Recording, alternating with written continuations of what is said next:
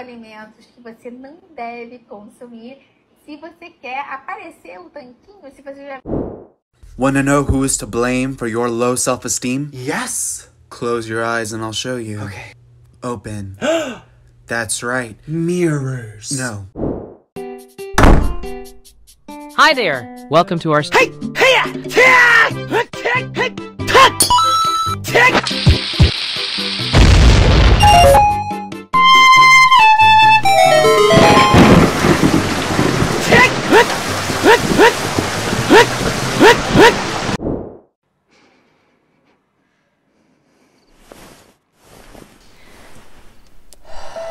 Thank you.